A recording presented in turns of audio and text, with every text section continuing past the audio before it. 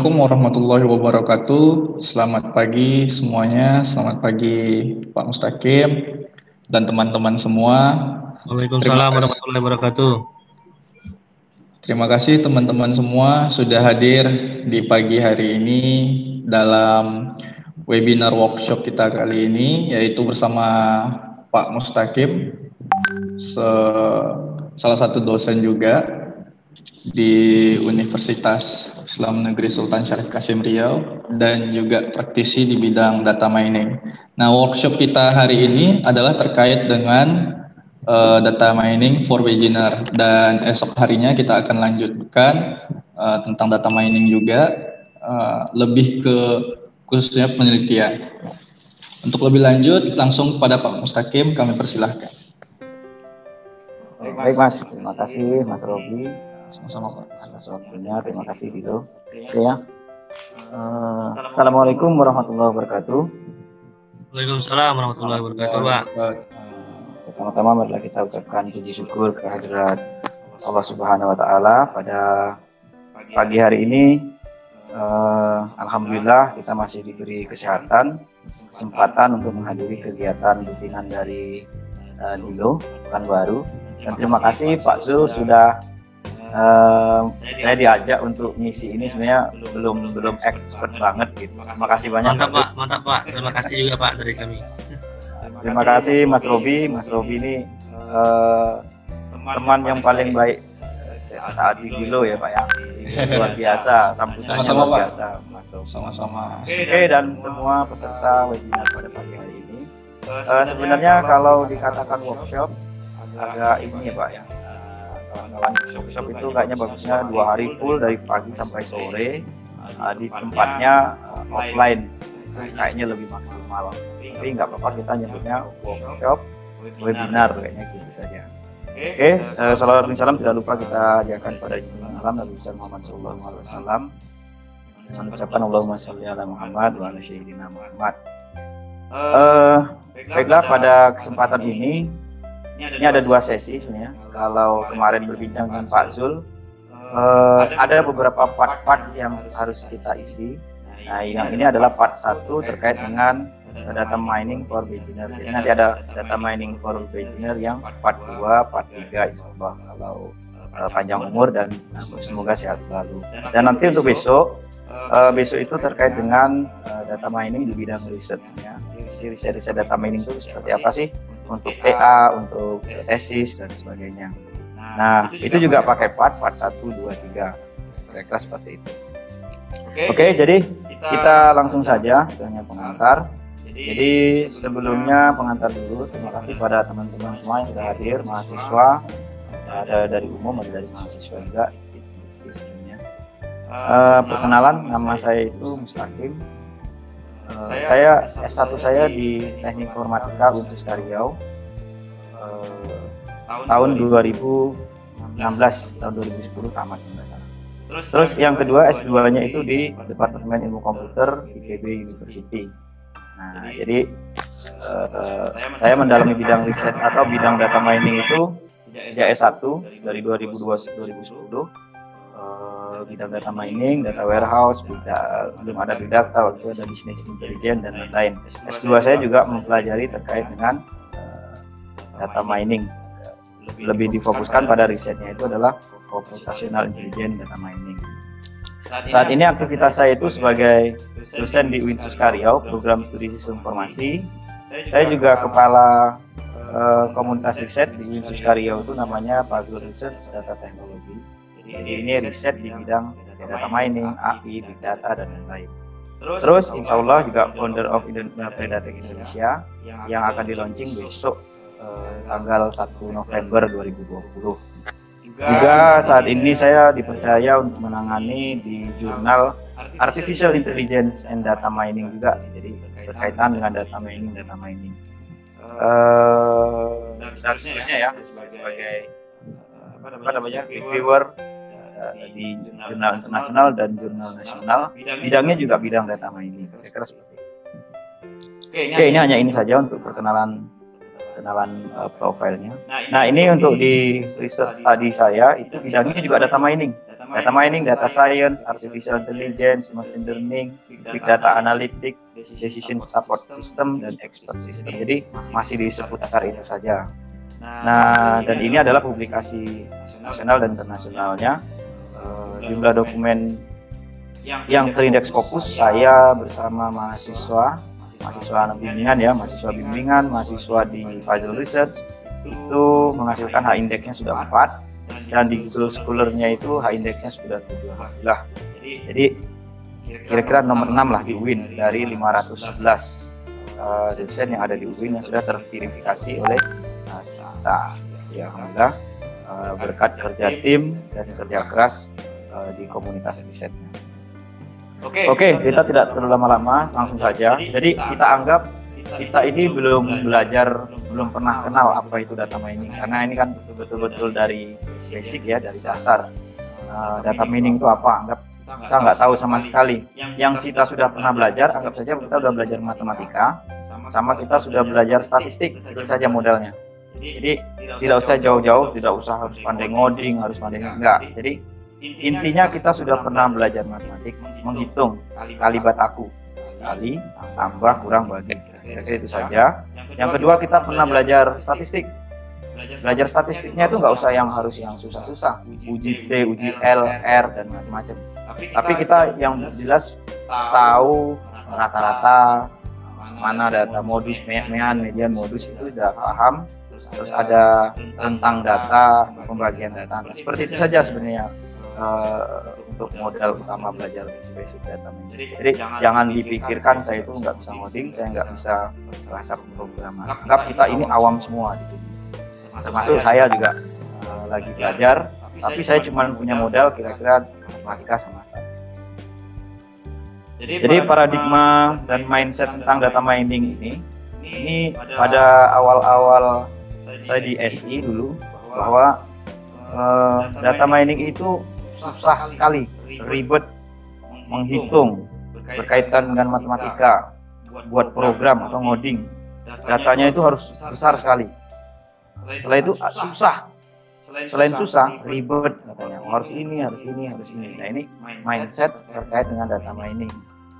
Nah, itu dulu. Memang kalau zaman dulu belajar data mining itu kita harus benar-benar ngerti bagaimana algoritmanya itu berjalan, bagaimana matematikanya itu uh, atau hitungan manualnya itu memang harus tahu bagaimana ini algoritma A, hitung manualnya kayak apa. Karena kita dulu zaman dulu tidak ada yang namanya tools, tidak ada yang namanya library dan lain-lain.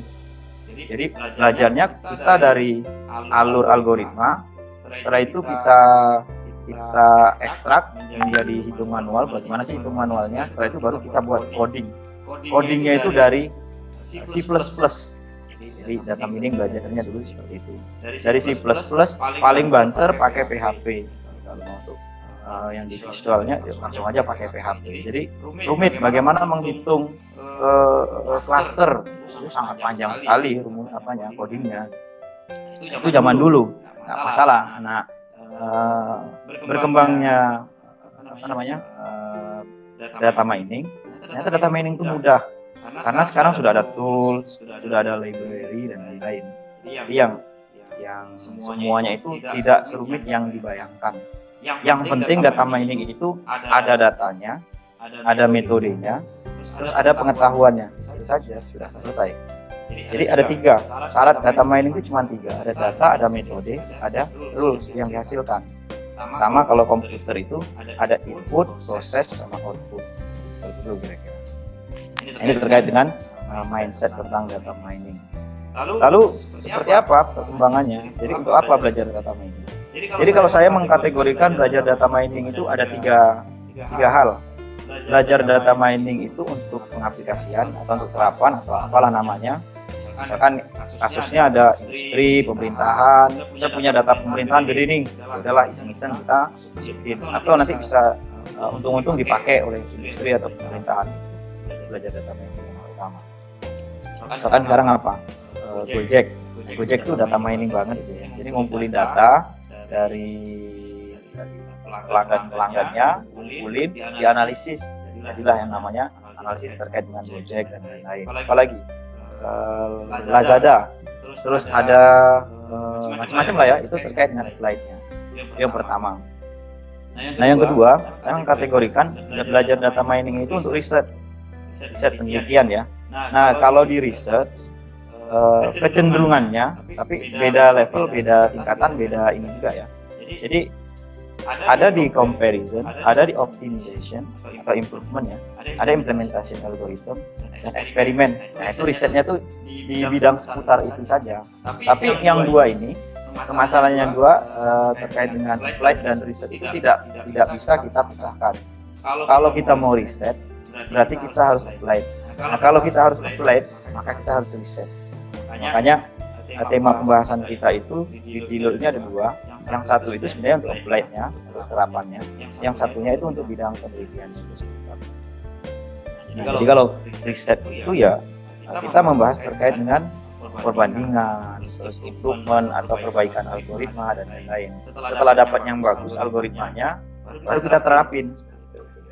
Jadi tidak Nah yang ketiga itu sebenarnya kalau saya lebih coba-coba. Jadi untuk belajar ngoprek, sekarang kan banyak library jadi sudah banyak tools-tools yang disediakan. Misalkan ada ada apa ya? R, ada Python, ada macam-macam lah. itu. Kalau mau googling itu banyak sekali. Nah itu untuk belajar aja. daripada bengong atau nggak ada kerjaan, udahlah belajar data mining.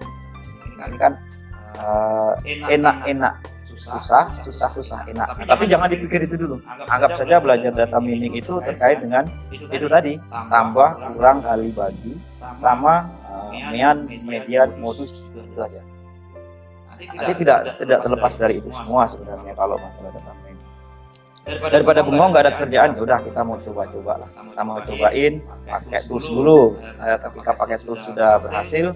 nah, nanti baru saya mau pack pakai coding lah. pakai apa yang kira-kira saya kuasai. Daripada rebahan di rumah ini musim pandemi kan. daripada rebahan main TikTok main Instagram main Twitter nggak ada kerjaan. Coba-coba. Cobain ya ada saya tahu kemarin belajar data mining dari workshop tahu beberapa algoritma. Saya searching lah. Saya coba. Kira-kira gitu. Daripada main mainan sosial media nggak untuk arah kan? Ya sudah ya kita belajar data mining. Jadi intinya ada tiga. Belajar data mining itu ada applied research dan coba-coba. Tapi yang dua ini harus berkaitan terkait dengan applied dan researchnya. Oke ya, jadi mindset kita membangun mindset dulu. bahwa belajar data mining ini sangat mudah sekali. Tidak perlu susah tidak perlu muluk-muluk tidak harus memikirkan rumus sigma sigma dan macam-macam itu. Jadi hilangkan itu dulu semua. Kalau kita sudah nyaman kayaknya mudah. Kayak itu pasti akan jadi mudah.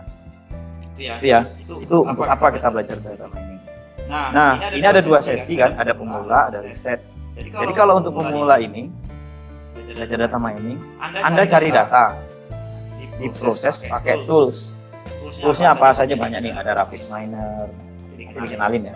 Nah, di pertemuan selanjutnya ada rapid miner ada orange ada WK ada macam-macam. Itu sudah banyak nah, terkait dengan tools yang dipakai. Tapi kalau saya sering pakai itu rapid miner dengan sama uh, orange. Itu yang lebih memungkinkan tapi ya untuk pemula itu ada datanya di proses pakai tools. Anda nggak perlu ngoding nggak perlu ngoding-ngoding nggak perlu anda belajar bahasa pemrograman sih sebenarnya terus? Terus?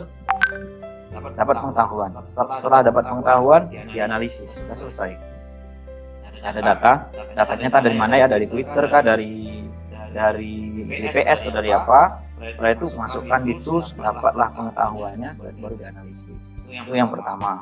yang kedua ini agak naik dikit. Anda cari data. Setelah itu ada ngoding. dikit. Ngodingnya nggak nggak panjang-panjang kayak ngoding PHP nggak ngoding kayak buat pemrograman visual Java dan sebagainya enggak. Karena kita sudah ada library pakai Spark atau pakai Nabi macam-macam itu ada uh, library-nya. Ya maksudnya kita akan kenalkan semua library-library yang bisa dipakai. Nah terus ada pengetahuan di analisis. Sudah selesai. Jadi agak naik dikit. berarti anda harus bisa ngoding dikit. Dikit aja. yang biasanya ngoding kita itu 100 baris kalau pakai library paling banter 10 baris. Karena sudah kita tinggal tinggal panggil library-nya itu apa uh, ya baca data masukkan library. dapat hasil. Ini sangat simpel sekali. Oh saya nggak punya komputer gede pak oh, nggak masalah gitu. Sekarang itu sudah banyak yang disediakan. Salah satunya itu Google Colab di yang disediakan oleh Google. Jadi itu sudah uh, sudah ini ya sudah sudah mumpuni lah kita sudah HPC juga itu sih. Jadi silahkan dipakai. Tapi nggak usah ke Yang ketiga, ada nyari data, ngoding dikit, ngoding dikit pakai tools, dapatlah pengetahuan baru dianalisis. Jadi ngoding dikit ini ada sebagian yang harus di coding, di coding ya? Di apa di, di program. Setelah itu kalau sudah di program, Anda butuh tools. atau kebalikannya, Anda pakai tools dulu, ternyata pakai tools mentok. bisa lagi baru Anda coding. Untuk mulai belajar mulai kayak gitu.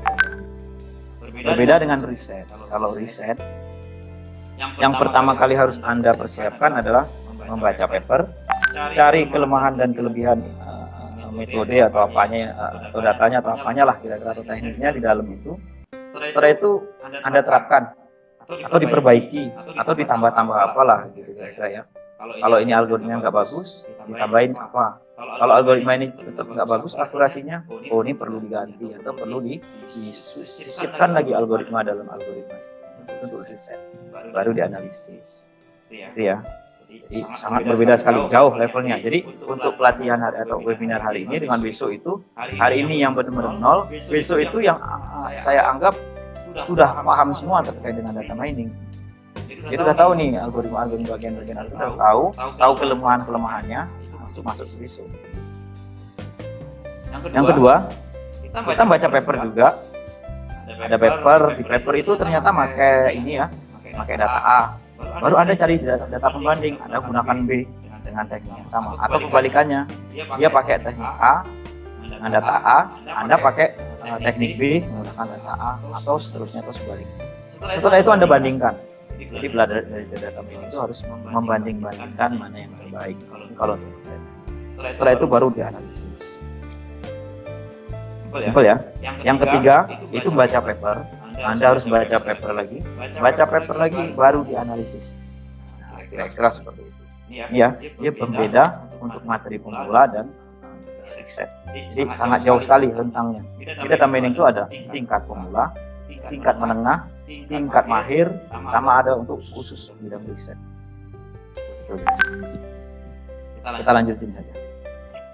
Lalu, Lalu kalau kita ngomongin data, sebelumnya kan kita ngomongin data, data cari data. Ini apa data? Kan data itu dari SD kelas 4 itu diajarkan bahwa S, apa data itu adalah sekumpulan keterangan atau fakta mentah berupa simbol. Jadi ada simbol, ada angka, kata, video, citra dan macam-macam itu data ya.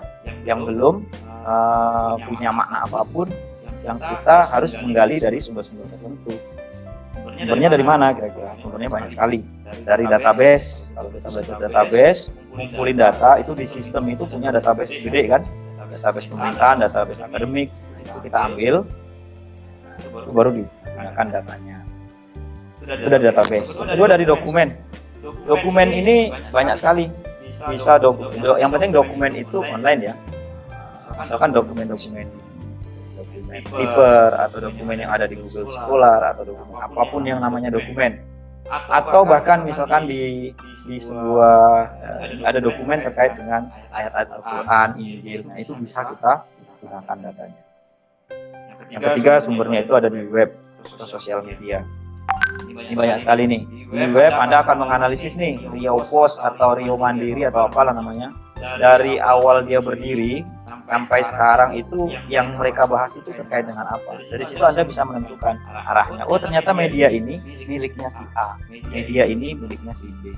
Cenderung media A ini uh, selalu menjelek-jelekkan pemerintah. Media yang B ini selalu uh, apa namanya? Ternyata di bawah pemerintah ada kaitan dengan pemerintah. Nah itu Anda bisa menganalisis baik dari judul beritanya maupun dari konten beritanya. Itu sumber-sumber data. Ada log system, log system ini jelas ya. Setiap sistem punya log siapa yang menggunakan, jam berapa, nah itu kita bisa analisis. Oh ternyata di waktu-waktu tertentu seperti ini, seperti ini. Dan sumber lain masih banyak lagi sebenarnya. Kalau sosial media itu ya seperti Twitter, itu Twitter itu sudah open public ya, nya Terus ada Instagram, ada Facebook, ada YouTube dan lain-lain. Jadi di sosial media itu ada dua istilah, ada crawling, ada scraping. Ya. Jadi nanti kalau ada waktu bisa bela belajar khusus terkait dengan text miningnya. Ini loh, ini kayaknya scraping, yang ini crawling. Nanti preprocessingnya bagaimana sampai data ini bisa dipakai. Kira-kira ini masalah data. Jadi data itu yang belum memiliki arti, namun yang kita akan gali. Nah, oleh karena itu, karena berkaitan dengan data, data mining itu sebenarnya disiplin ilmu yang mempelajari itu saya highlight yang berwarna merah yang mempelajari terkait dengan metode untuk mengekstrak pengetahuan atau menemukan pola dari suatu data yang besar. Itu yang yang ini ya kalau kita terkait dengan data mining itu ada metodenya. Jadi dari metode itu diekstrak pengetahuannya sehingga dapat suatu pola. Data mining itu berkaitan dengan pola saja. Pola kita cari polanya polanya kayak apa? ini? Trennya itu seperti apa? nah dari situ kita menganalisis. Ada dua kemungkinan data mining itu tidak pasti. yang kemungkinan data mining itu pasti. Karena kita mempelajari terkait dengan pola. Jadi kalau kita belajar statistik ada yang namanya uh, probabilitas. jadi seberapa besar probabilitas yang yang kita hasilkan Oke ya. Jadi, kalau kita ibaratkan, kita visualisasikan seperti ini. Ada sumber data, ada metode, ada pola atau pengetahuan. Nah, itu yang paling penting. Nah, di luar itu ternyata ada satu hal yang juga harus dikerjakan, namanya evaluasi. Ini ada datanya, dikerjakan menggunakan metode A, dapatlah hasilnya. Nah, setelah itu hasilnya dievaluasi, bagaimana sih errornya, bagaimana akurasinya, bagaimana uh, precisionnya dan seterusnya. Itu kira-kira begitu. Namun yang yang sebenarnya uh, dibutuhkan saat ini kalau untuk yang basic ini adalah berdata, metode, ada polanya itu saja. Nah, nanti baru kita analisis evaluasinya. Oh, ini ternyata hasilnya seperti ini loh. Ternyata media X ini miliknya si A, miliknya si B. Kita evaluasi. Ternyata akurasinya kecil kok. Berarti kemungkinan besar salah yang yang di, yang diproses oleh algoritma. Jadi gunanya evaluasi kayak gitu. Hasilnya kayak gini besok tahun 2021 ternyata kelapa sawit di Riau itu akan naik harganya. Harganya per kilo sampai 20.000 misalkan. itu kita prediksi pakai data mining. Nah tapi dari evaluasinya ternyata errornya itu sampai 50% oh tidak mungkin. Jadi prediksinya segitu harganya tapi mempunyai kesalahan yang banyak. ada yang tinggi errornya itu sangat banyak. Perlu dipertimbangkan lagi Apanya yang salah dengan ini? baru dinaikkan. Itulah yang namanya improvement. Mem memperbaiki metode. apakah metodenya yang salah atau datanya yang salah? Itu ya. Itu belajar data mining. nah kira-kira kayak gini. ada himpunan data. anda harus memahami data dulu karena dari awal tadi saya sebutkan anda itu harus harus mengerti terkait dengan matematika dasar sama statistik dasar. jadi anda harus paham dengan data ini. anda pahami dulu datanya ini data apa ya nih kolom-kolom. Ada kolom ada baris. Habis itu ada atribut. Datanya ini ordinal atau data apa sih namanya? Itu harus anda pahami dulu. karena dari SMA kita sudah belajar kan bagaimana data itu. ada nominal, ordinal, macam itu data ya. jenis-jenis data. Itu anda harus paham dulu. Nah yang kedua itu ya tadi yang sebut ya ada rumus-rumus. Jadi anda jangan pikirin rumus itu. Rumus sigma itu kan cuma menjumlahkan artinya. Jadi anda jangan uh, terkecoh dengan sigma sigma atau integral itu. Kalau ada ada lambang sigma itu kan artinya cuma menjumlahkan. Menjumlahkan apa yang ada di dalam itu. Selesai. Jadi kadang mahasiswa itu kebanyakan sudah nengok rumusnya itu sudah pusing duluan. Waduh rumusnya ngeri sekali pak. Padahal kan cuma sigma menjumlahkan. Di situ ada bagi ada kali gitu habis itu diakarkan jadi ini metode ya metode terkait dengan metode anda harus memilih metode sesuai dengan karakter data. Anda ngerti datanya dulu, baru Anda bisa menentukan metode. Ini data kayak gini, bagusnya metode apa? Nah, tapi itu nanti di step yang kedua, di part yang kedua. Ya. Setelah itu dapat pengetahuan. Pengetahuan yang dihasilkan apa? Pengetahuan yang dihasilkan itu ya misalkan bola. Polanya kayak gini loh ternyata trennya itu untuk kelapa sawit di di provinsi Riau. Cenderung itu naik terus setiap tahun. Tapi di akhir tahun dia kecenderungannya turun itu tren. setiap tahun kayak gitu.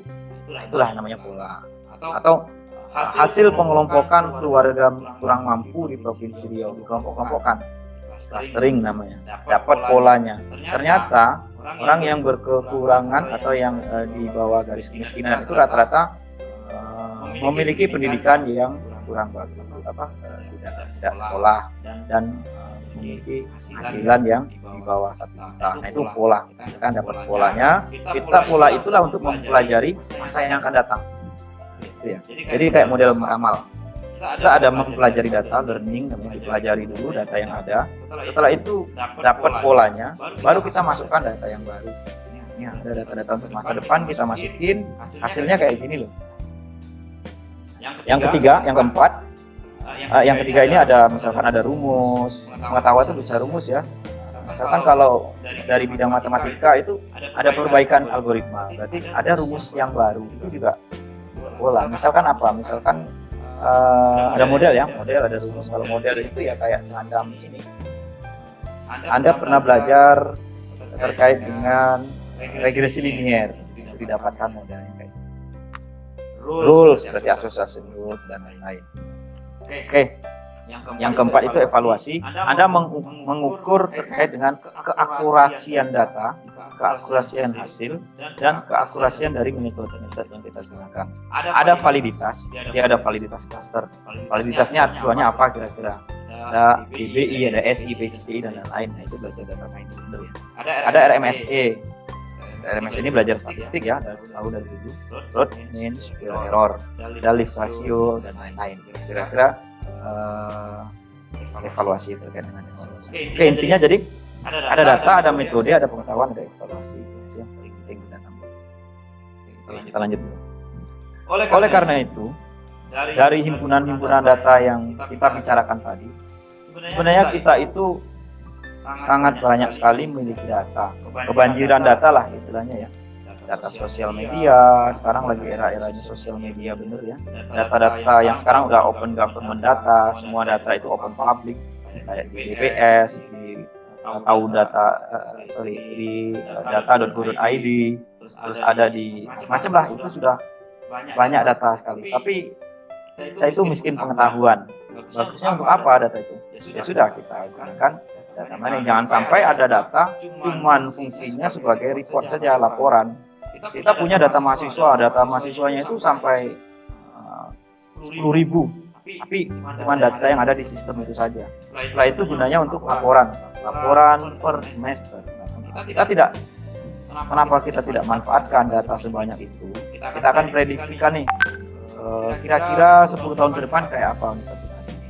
Atau kita mau memprediksikan untuk mahasiswa yang tepat waktu kita cari polanya dulu. Setelah itu kita dapat modelnya. Baru kita masukin data-data mahasiswa baru atau mahasiswa yang akan mengambil tugas akhir. Dari situ kita bisa prediksikan oh ke depannya ternyata 80% mahasiswa di perguruan tinggi ini akan amat tepat waktu kan itu berguna ya. Nah, tapi di situlah yang kita tidak akan data-data banyak. Mungkin ada dua kemungkinan akses datanya susah. Yang kedua itu adalah kemampuan untuk melakukan itu juga belum. belum. Itu bukan tidak hebat atau tidak apa tapi atmosfernya itu belum dapat. Jadi di, kita itu memang riset ini sepertinya uh, perlu ditingkatkan lagi. bisa digunakan. data-data itu ya kita itu kebanjiran data tapi kita ini uh, miskin. pengetahuan.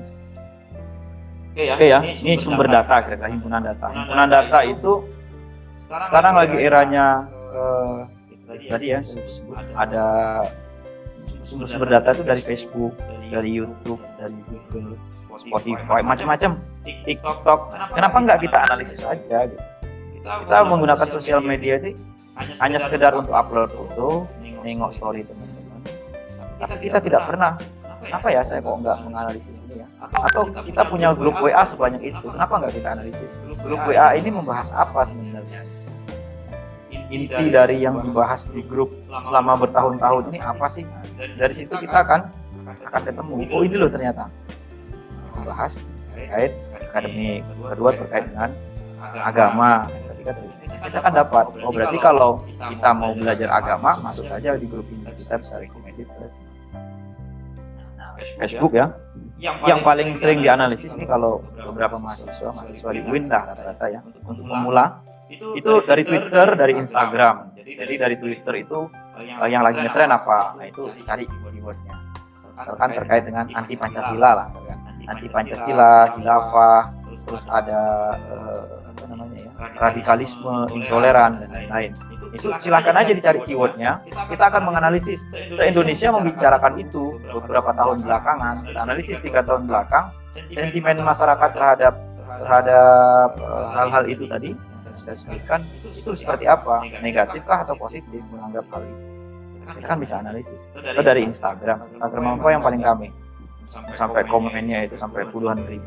Jutaan itu dianalisis. Apa ter terkait dengan sentimen. Nah tadi jadi kalau di sosial media lebih ke mengarah ke sentimen analisis. Jadi banyak sekali. Macam-macam ya. Ada ada gunakan email bagaimana deteksi spam banyak sekali fungsinya. Tapi sejauh ini kita hanya bisa menggunakan sosial media itu hanya untuk ya bersosial media. ria saja gitu. Sambil baring-baring nengok foto nengok tiktok. Tapi di sebalik, itu sebenarnya ada informasi yang sangat berharga. gitu. kenapa tidak kita itu yang sumber data yang sangat besar sekali. Bahkan per menit per detik itu datanya terus bertambah. itu uh, platformnya yang itu ya Nah yang, nah, yang kedua ada Badan Pusat Statistik di BPS itu atau BPS atau dinas apa pun itu juga banyak data itu data di BPS itu kalau nggak salah sebelum saya lahir ada datanya di situ dari tahun 1987 sampai 2019 ada data di BPS. Kalaupun tidak BPS yang online ini websitenya, kita boleh datang ke uh, di kantornya langsung di BPS langsung. Itu disediakan nanti ada namanya library data. Nah, itu bisa mengambil sih. Tapi dengan catatan ada yang berbayar, ada yang tidak. Ya. Di BPS manfaatkan banyak sekali data. Bingung mencari data, buka BPS buka aja pokoknya buka. Oh ini data ada data pertanian perkebunan pendidikan. Bagusnya saya apain ya? Itu pasti dapat ide itu yang kan kita manfaatkan. Nah terus ada di data Indonesia. Ini juga oh, sudah bagus sekali. Oke ya, oke ya. himpunan data. Masih kita ngomongin himpunan data ini soalnya kemarin saya di perguruan tinggi X yang ada di Pekanbaru ini sama suruh ngisi workshop data mining. Uh, langsung saja yuk kita install Rapid Miner sama Python Anaconda tiba-tiba blank. Sama sekali karena saya nggak ngerti ternyata data mining itu apa dari awal. Makanya kita mem, apa, menyamakan persepsi dulu bahwa data mining itu seperti ini dulu. Baru kita mengarah ke softwarenya itu ya. Jadi, jadi rencananya pagi ini kemarin saya mau langsung install Rapid Miner, langsung kita proses. Nah, pertemuan selanjutnya kita langsung install Anaconda. Ini ada data, nah, tapi uh, sepertinya kalau yang mau mengikuti dari awal sampai tuntas nantinya memang harus mengikuti part demi partnya. Maka ada paham. Jadi berbeda dengan kuliah. Kalau kuliah itu banyak yang saya bahas biasanya di teori, di teori. Kalau ini kita langsung ke implementasi saja. Oke okay, ya, masih, masih seputar himpunan data ini Twitter nih. Kayak sekarang yang lagi ramai itu PSBB Jakarta, ada Anies Baswedan macam-macam ya. Nah itu akan dicari aja. Nanti di Instagram. Di Instagram itu membahas tentang apa? Tentang ini yang paling ramai penusukan Ustadz siapa? yang uh, yang yang di Lampung itu ya. Terus ada di YouTube, di YouTube Kompas TV itu komentarnya sampai ratusan. Ambil aja 10 video, dianalisis ngapain aja sih orang di sini cerita apa? Apakah jualan atau online shop atau apa yang diceritakan? Ini dengan data dari sosial media. kalau ini tadi sama. kalau ini datanya lebih cenderung ke yang BPS sama data Indonesia itu terstruktur berkolom-kolom. tapi kalau sosial media itu yang unstruktur. jadi datanya tidak berkolom-kolom. berupa teks Oke, jadi ini ada Uh, karena kita ngomongin data dari tadi data data data data. itu dalam mesin learning mesin learning mesin pembelajaran ya. data main ini masih dalam mesin learning.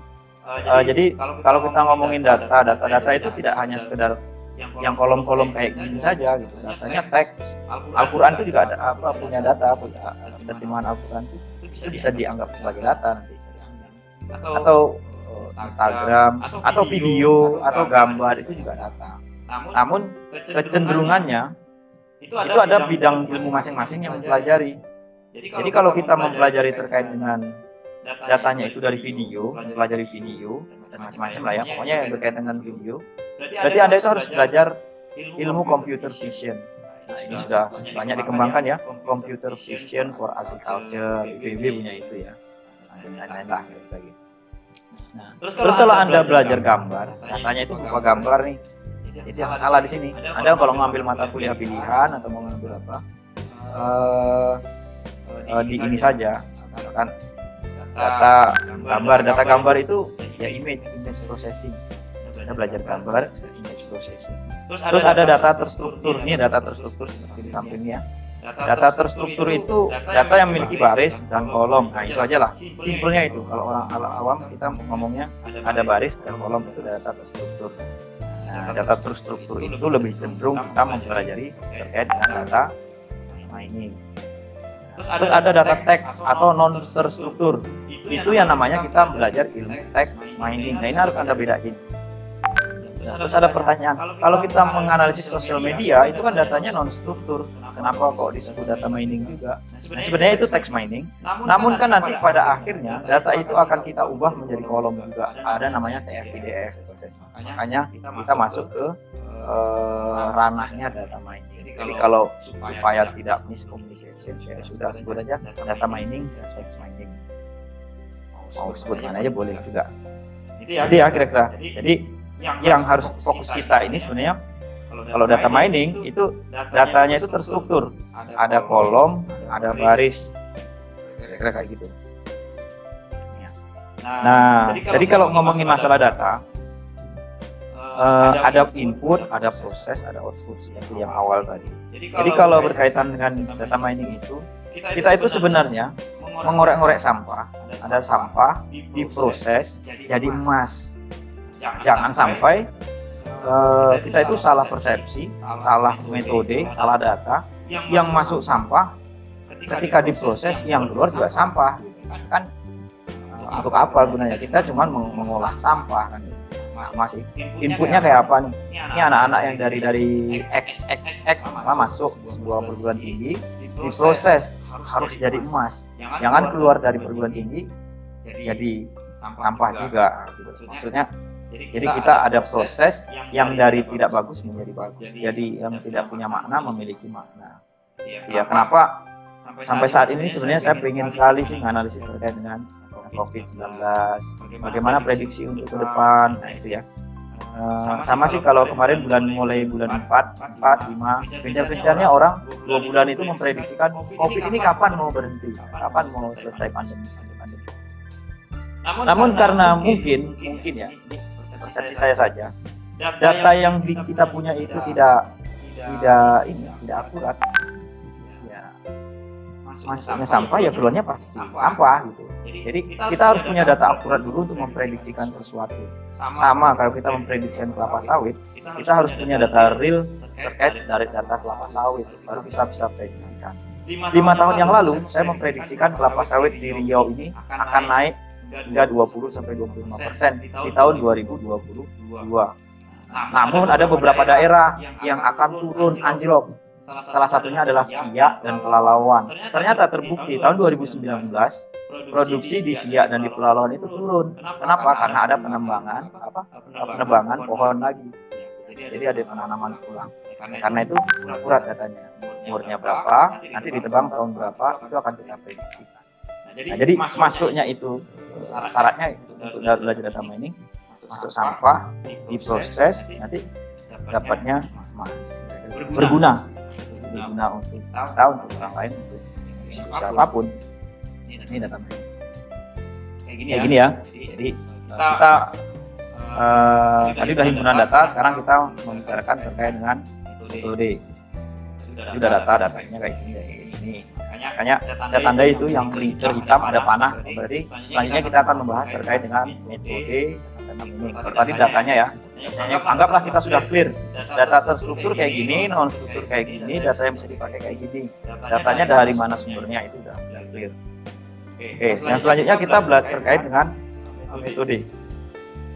jadi atau metode ini. pilih metode sesuai dengan karakter data sebelum kita milih metode, kita harus tahu dulu bagian irisan keilmuan di di ilmu komputer itu atau computer science atau bidang komputer atau apalah namanya itu ya. Jadi ada data mining, ada data science, ada big data, ada deep learning, machine learning, artificial intelligence. Nah ini adalah irisannya. Semua itu sebenarnya bersinggungan beririsan.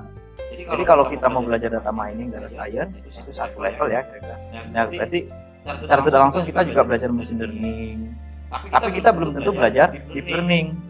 Tapi kita sudah belajar big data dan artificial intelligence. Kira-kira kayak gitu. Ini mungkin bisa di, di ini saja ya, di, ditengok saja, di oh ini loh irisannya kira-kira Nah, di mesin learning sendiri, mesin learning dalam metode learning dalam data mining itu ada ada empat bagian. Tapi ini beberapa pakar saja yang mengatakan demikian.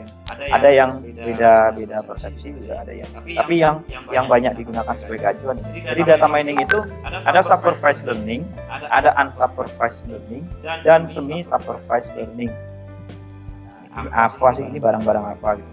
Jadi supervised learning itu itu adalah model atau metode yang digunakan untuk memprediksikan sesuatu yang sudah punya contekan, nah punya data pelatihannya kira-kira gitu.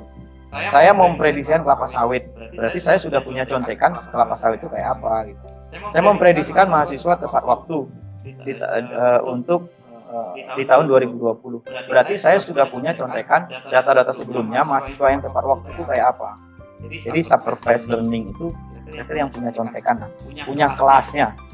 Si A umurnya segini, nilainya kayak gini, dia itu ternyata tepat waktu. Si B datanya kayak gini, gini. Tidak tepat waktu. Si C ini, tepat waktu. Jadi kita punya uh, contekan. tepat waktu dan tidak tepat waktu.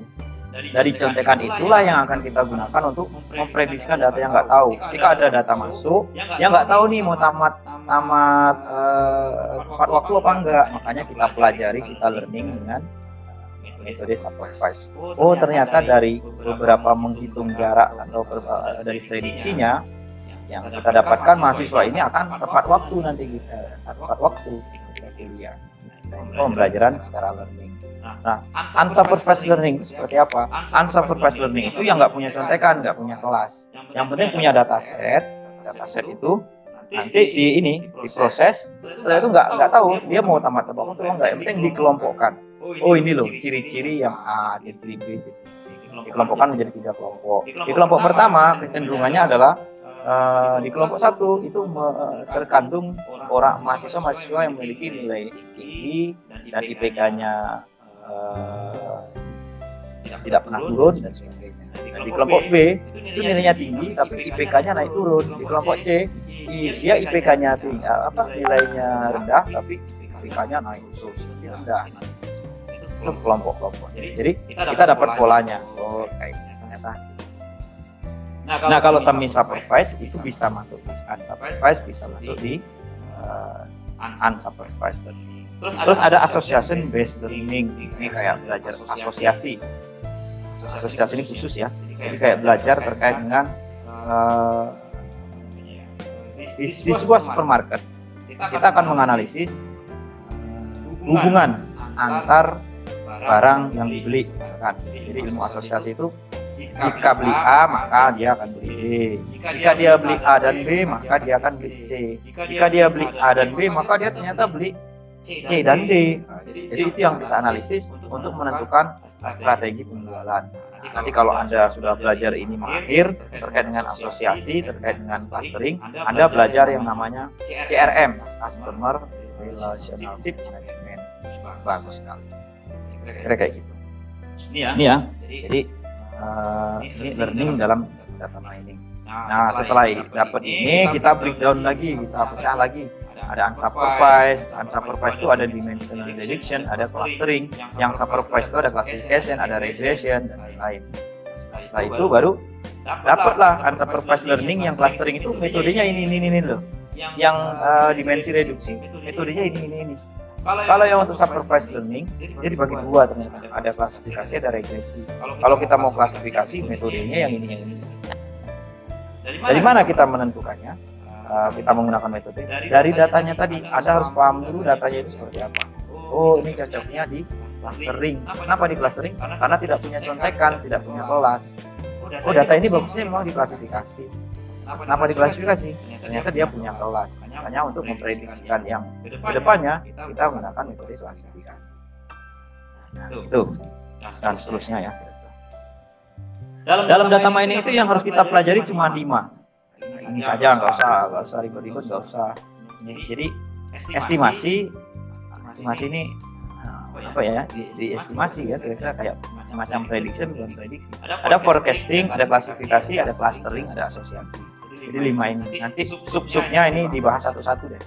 Kalau misalkan kuliah pasti dapat nih pertemuan ke lima misalkan belajar estimasi ke enam forecasting ke tujuh delapan klasifikasi sembilan sepuluh clustering sebelas dua belas asosiasi.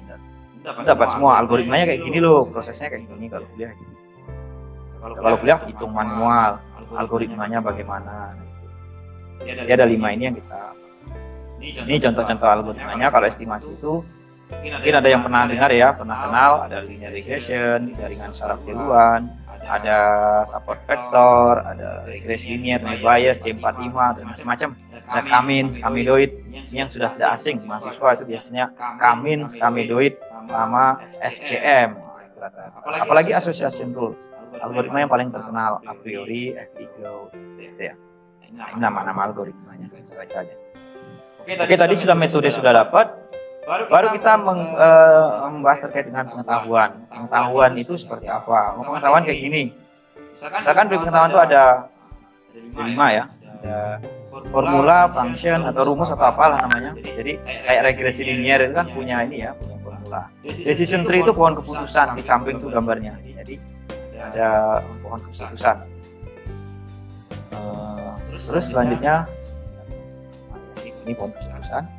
Terus ada yang namanya uh, aturan. Jika ini maka ini itu association rules biasanya. Terus ada clustering itu gambar cluster di kelompok-kelompokan yang saya sebutkan tadi ya. Ada data dari seribu data kita kelompokkan jadi tiga.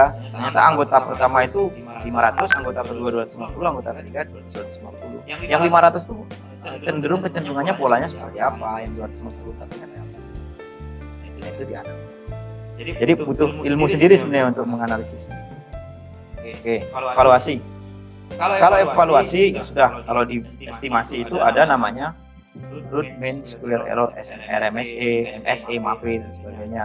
Ada sama ya, di klasifikasi ada confusion metric, ada akurasi, ada ROC, di clustering itu ada dan indeks, DBI, macam-macam ya. Ini dipelajari sendiri ini banyak teori-teori. Terkait dengan metode ini evaluasi. Ada association rule itu yang sering dipakai. lift ratio, support and confidence. Biasanya untuk untuk ininya untuk acuannya parameternya. Oke ya. Oke ya. Nah, hal ini semua biasanya sering kita ketemui untuk apa? Untuk comparison, untuk membandingkan, membandingkan dua algoritma nih. Apa, apa acuannya? Oh, dari sini saja, dari estimasinya, eh, dari apa? Dari ah, evaluasinya. Ada dua algoritma kita bandingkan Kamin sama FCM, mana yang paling bagus? Dari mana kita melihat bagusnya? Berarti dari uh, ditengok dari DBI-nya atau dari indeks dari validity clusternya. Misalnya di situ sebenarnya. Ada optimasi sama improvement. Nah, ketika algoritma Kamir sini jelek hasilnya, maka kita akan gabungkan dengan algoritma yang lain. Misalkan masukin PCA dalam Kamir. Hasilnya kayak apa? Baru kita ukur antara Kamins yang biasa dengan Kamins yang PCA itu hasilnya kayak apa. Itu ya. Lanjut. Nah, jadi kita langsung ke pre-processing. Uh, pre-processing ini dalam data mining itu tahapannya di KDD ya ada pre-processing. Jadi, Jadi kita flashback lagi disiplin ilmu yang mempelajari metode untuk mengekstrak pengetahuan atau menemukan pola balik ya. Jadi ada metode mengekstrak pola atau menemukan pengetahuan atau menemukan pola dari data yang besar. Jadi ada sumber data. Data saya lingkari nih. Sumber datanya itu uh, seperti apa? Data yang kita maksud. Datanya itu harus bagus dan siap dipakai. Jadi bagaimana data yang kita dari sumber-sumber tadi, datanya itu belum bagus. Datanya masih kotor, masih sampah, masih ada outlier, masih ada noise, masih ada uh, data ganda lah macam-macam ya. Makanya oleh karena itu kita harus lakukan pre-processing. namanya. Pre-processing itu sebelum kita proses menggunakan algoritma data mining kita proses dulu. namanya preprocessing. Dari sumber data metode pola pengetahuan dan itulah kira-kira ya. Data yang seperti apa yang harus kita bersihkan? Data-data yang kita bersihkan itu adalah supaya datanya di dalam data yang mau kita pakai tidak ada noise lagi. tidak ada outlier tidak ada duplikasi data ya percuma saja kita menganalisis datanya ada seribu. Ternyata di masing-masing data itu datanya ganda. Jadi kan ya, gimana ya? Dari seribu data ternyata banyak yang bolong nih datanya. Kalau banyak yang bolong. Ya. Hasilnya akan kurang bagus juga. hanya kita lakukan preprocessing kalau kita belajar data mining itu sebenarnya yang paling susah yang paling ribet. Kalau kita ngomong ribet lagi ya. tapi lupakan ribet itu lupakan susah. ya. Mindset kita data mining itu mudah jadi yang agak yang agak yang agak ribet itu di pre-processingnya. Kalau prosesnya itu sangat mudah sekali. Biasanya kita tinggal pakai metode yang kita pakai. Tapi di proses di pre-processing ini, kalau kita salah melakukan pre-processing, maka akan salah juga pola yang kita hasilkan. Itu ya. Jadi tidak ada data noise, tidak ada outlier, tidak ada duplikasi data. Saya akan kasih contohnya nanti. Di pre-processing ini, tahapan-tahapan yang harus dilakukan ini namanya KDD ya. KDD itu knowledge discovery database. Jadi ini preprocessingnya ada seleksi data. Kita menyeleksi dulu data nih. Ada dua sumber data misalkan nih kita seleksi dua datanya. Ada dipilih atau di cleaning dibersihkan datanya. Di selection, ada cleaning, ada transformation, baru data mining keempat. Satu dua tiga itu tahapan preprocessing menyeleksi data dulu, datanya dipilih atau dibersihkan, sudah diseleksi, dibersihkan, nggak ada kuman-kumannya. Setelah itu sudah selesai, sudah bersih, kita transformasikan. Nah, itu kira-kira. Kita satu-satu ya. Oke, kita masuk ke selection. Jadi nanti setelah ini saya akan kasih data set uh, audiens diharapkan untuk mengerjakan uh, pre-processing kalau di situ nanti bisa mengerjakan untuk minggu depan atau pertemuan ke depan itu langsung mudah kita menggunakan dan ini ada data kita proses pakai aplikasi. Nanti kita reduksi atau preprocessingnya juga menggunakan aplikasi. Kira-kira seperti itu. Yang pertama ada seleksi atau memilih sekumpulan. data operasional. Kita harus seleksi. Tadi ini contohnya ini ada tiga data saya punya tiga sumber data nih. Datanya terkait dengan uh, orang yang terkena COVID-19. Jadi banyaklah atributnya ya kira-kira ya. Orang yang kena COVID-19 itu datanya ada tiga. Dari angket, dari dinas kesehatan, dari data rumah sakit. Atau apa data terkait penyakit juga tidak masalah. Kita punya data penyakit, kita punya tiga sumber data, data dari angket, dari dinas kesehatan, dari data rumah sakit. Ini ya, kita akan seleksi. Data itu akan kita integrasikan. Kita jadiin satu di database. Kalau nggak mau ngomong database ya udah kita pindahin di Excel. Di Excel. Data main itu dari ribet. Selama kita bisa menggunakan kalkulator, ya pakai aja kalkulator. Kalau nggak bisa pakai kalkulator, pakai Excel. Nggak bisa pakai Excel, pakai tools. Tools mentok, baru pakai ngoding selama kita bisa ngitung pakai sempua, ayo kita pakai sempua saja yang itu data mining. Susah-susah. Gitu ya. Jadi anggap saja kita diintegrasikan di Excel. Setelah itu data dengan atribut asli, terus data dengan data eh, apa data atribut yang yang sudah Anda punya dua file data, datanya dengan atribut yang asli nih, yang ketiga-tiganya digabungin tadi. Nah, tetapi anda bersihkan, Anda ini, Anda seleksi, yang perlu dipakai cuma ini loh atributnya. Dari 100 atribut tadi, ternyata yang harus dipakai untuk menganalisis ini, menganalisis suatu hal, cukup 10 saja.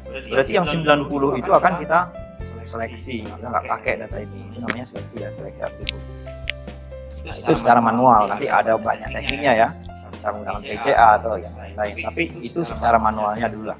Ada tiga data dikumpulin, diseleksi mana yang harus dipakai. setelah itu dapatlah dataset yang dipakai. Apakah sampai sini selesai? Belum. Nah, datanya masih kotor tadi belum dibersihkan belum di uh, reduksi macam-macam lah ya.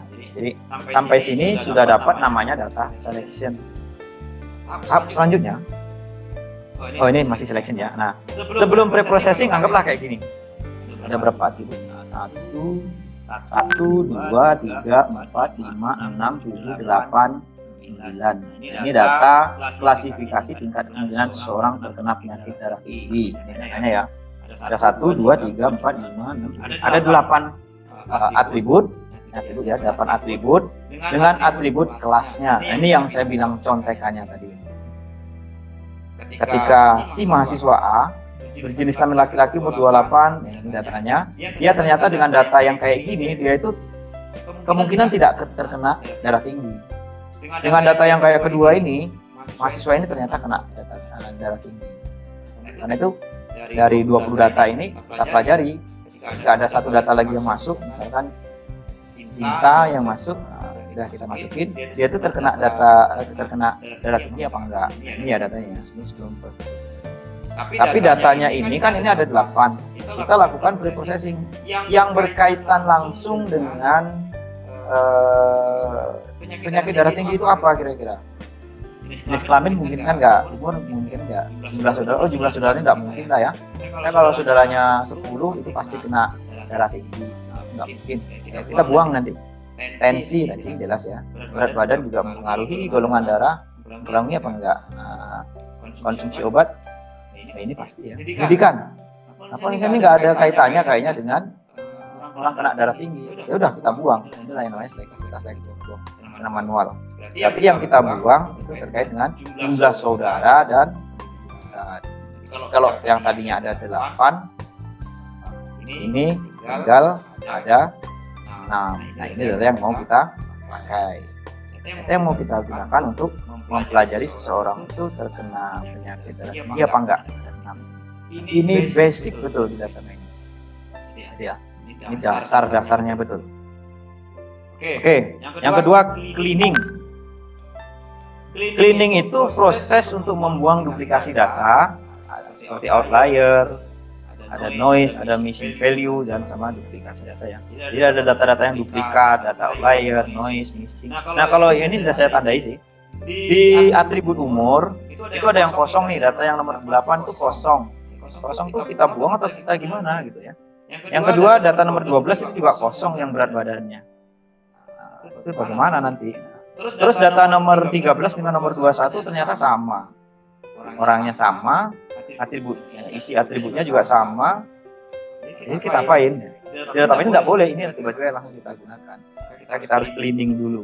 Ya yang mau cleaning kita cleaning. Ya. Oke. Okay. Bagaimana, Bagaimana cara mengcleaningnya? Kan itu ya. Cara mengcleaningnya itu bisa jadi Anda menggunakan rata-rata. Ini yang paling sederhana menggunakan rata-rata. Tapi kalau sudah keterlaluan banyak masuk ya udah dihapus saja itu juga di cleaning. Nomor 8 itu kosong nih di umur sama di berat badan sama di konsumsi obat kosong. Ya sudah dihapus saja itu. Berarti kan. Jadi kalau cuma satu ini ada kemungkinan kemungkinan ya kita bisa menggunakan teknik dari rata-rata ini dari atas ke bawah nah, sisanya di situ itu yang sering dipakai oke data ketika sudah di cleaning hasilnya kayak ini dari 20 itu ada data itu ternyata nomor berapa yang hilang? Nomor sebel, uh, 8 sama nomor 13 itu hilang sama nomor data nomor nah yang tadi ya kira-kira yang ini. Ini data yang itu ini data yang siap akan kita gunakan. Lalu kita correction. Oke. Lalu kita correction. Koreksi atau improvement. Jadi mengoreksi dulu. Setelah udah dapat datanya tinggal sisa yang bagus tadi, kita koreksi lagi. Kita koreksi umur. Ternyata kok ada umur 190 enggak mungkin ini ya. Nah, orangnya udah meninggal dunia ini. Jadi kita koreksi, berkemungkinan besar ada dua kemungkinan. Kalau nggak 19, ya 90 kita tengok lagi datanya. Kalau 90 tidak mungkin, rata-rata umur itu maksimum cuma 34. Berarti kemungkinan 19 tahun karena ada data minimumnya itu 17 tahun. Kemungkinan besar 19 tahun. Kalau 10 tahun pun nggak mungkin. Itu ya, itu caranya. Kita ini manual, manual saja membersihkan data yang koreksi. Berarti kira-kira yang nomor tiga itu nggak perlu kita cleaning tapi kita benerin saja. Itu boleh, sah saja. Terus yang berat Terus yang berat badan, berat badan itu 50,1. Udahlah 50 antara 50 atau 51. Tapi, Tapi kecenderungannya ya pasti ya 50 lah ya, 0,1. Satunya kita bersihin jadi 50. golongan darah ABE. ABE itu ada golongan darah ABE enggak? Enggak ada. Ternyata yang ada cuma AB, A, B, sama AB. Kemungkinan besar si orang yang nomor 7 ini dia tuh golongan darahnya itu kalau enggak A, B atau AB. Tapi yang paling lebih mungkin kan sebenarnya adalah AB. Ya E-nya dibuang. Jadi golongan darahnya AB ini guys. Terus ada kesalahan nulis misalkan nomor 15 itu konsumsi obat, yang lainnya iya, tapi dia ya E. Oh berarti ini salah ngetik nih. Ya berarti kita buang aja yang E-nya. Setelah itu datanya sudah benar-benar bagus, kita tengok nih bagus apa enggak. Kalau pakai tools kita bisa nengok sendiri ya berapa persen data yang yang outlier itu nampak. Tapi ini kita secara manualnya kira-kira. Oke, setelah itu dapat datanya, barulah data bersih. Nah, selanjutnya kita lakukan yang namanya transformasi dan normalisasi. Jadi gunanya transformasi ini untuk apa? Ya, kita balik lagi ya ke data ini. Jadi di untuk transformasi itu gunanya. Kalau kita mau memproses data mining, itu biasanya datanya itu harus berupa angka. Angka lah ya, ada angka, ada teks. Kita bedain itu aja dulu. Ada angka, ada tulisan, tulisan. Teks ya. Nah di sini coba dilihat dari enam ini. atribut, tujuh atribut dengan kelas, yang mana yang tidak menggunakan angka. tidak menggunakan angka jenis kelamin. itu tulisannya uh, teks. tensi. Golongan darah. konsumsi obat. kemungkinan darah tinggi. Nah, itu kan teks. kita akan merubahnya dalam bentuk angka. Karena mesinnya itu yang dibaca cuma angka. oleh karena itu kalau ini masih teks kita akan lakukan yang namanya uh, normali apa uh, apa tadi? uh, transformasi. melakukan transformasi. Ya. Menjadikan bentuk angka. dari teks. menjadi angka baru kita bisa proses. Oke. Itu itu transformasi. sedangkan normalisasi itu kita mau cari rentangnya. rentangnya. Supaya sama bagaimana sih? Banyak itu tekniknya. Ada zero miss ada ada max macam tapi kita ke transformasi dulu. Nah ini kira-kira transformasi.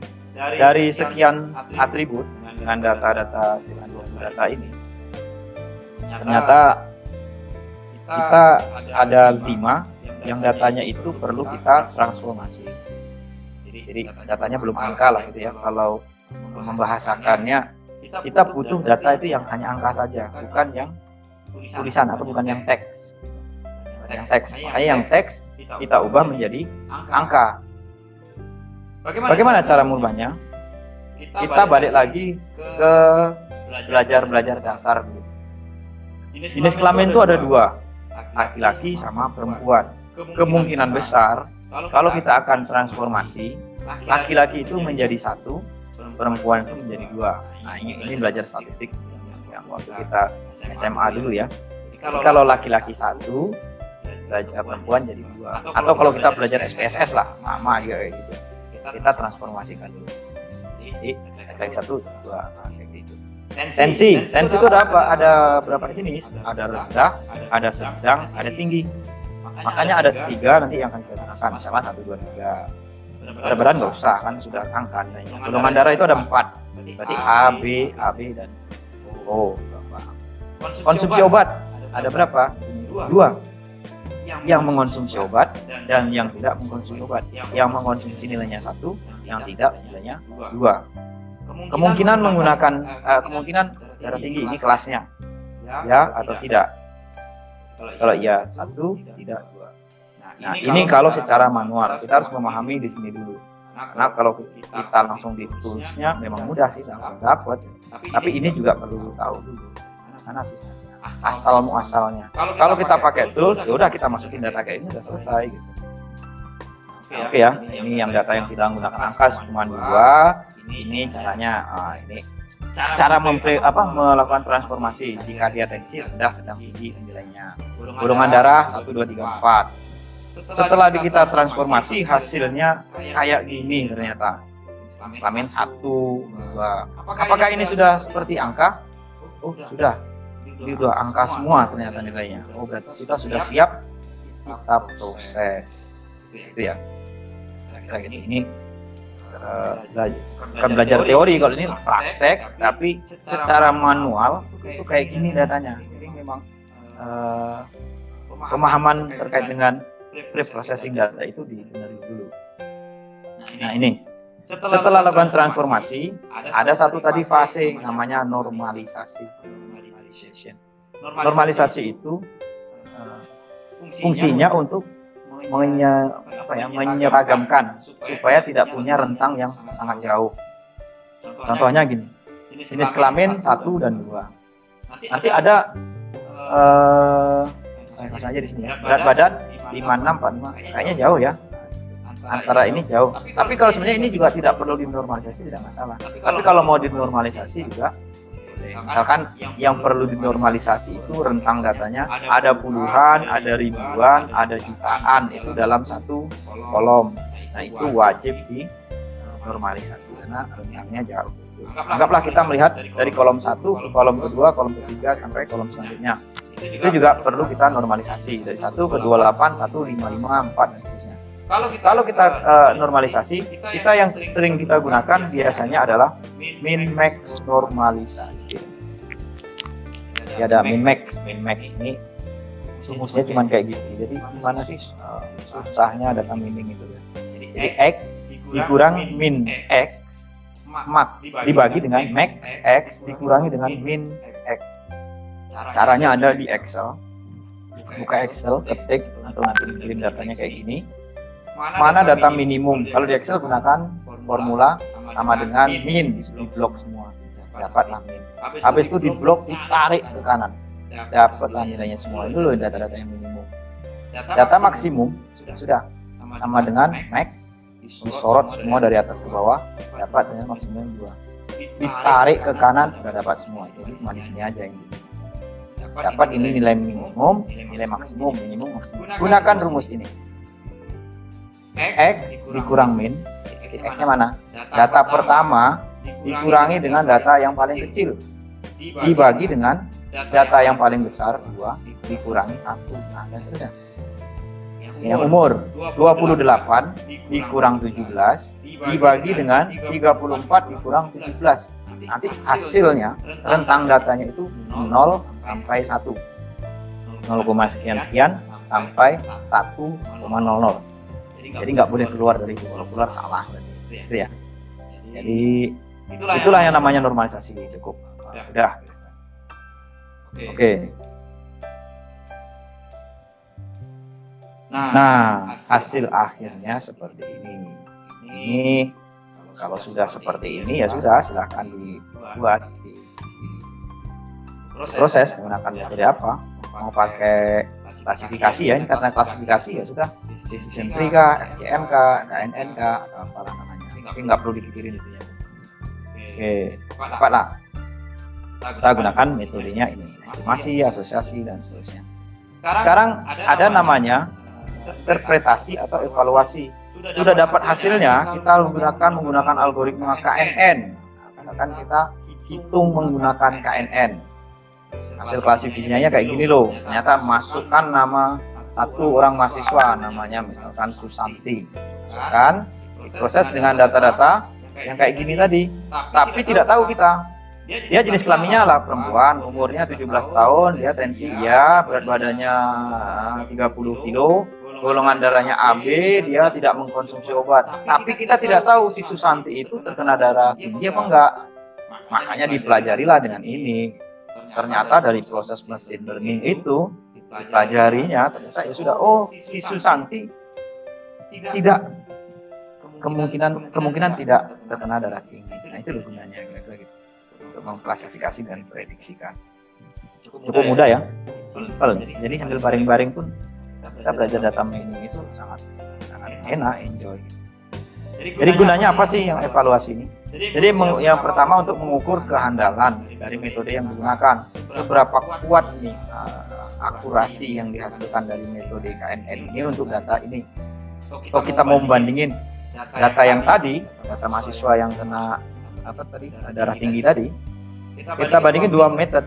Kita menggunakan SPM, satunya kita menggunakan KNN. Kita akan ukur apakah lebih handal KNN atau SPM. Maka kita menggunakan uh, evaluasi. Evaluasinya apa? Misalkan kita menggunakan contribution metric. Nah, namun yang namanya membandingkan algoritma itu tidak mutlak bahwa algoritma A, misalkan yang bagus itu SVM ya, algoritma SVM itu bagus. Anda tidak boleh mengatakan demikian. Bagus untuk kasus data ini. Gitu. Anda, Anda belum ngecek dengan data-data yang lain. Bagus karena datanya mungkin cuma 20. Cobain dites dengan data 1 juta. Masih bagus nggak kira-kira dibandingkan dengan KNN? Jadi itu ya.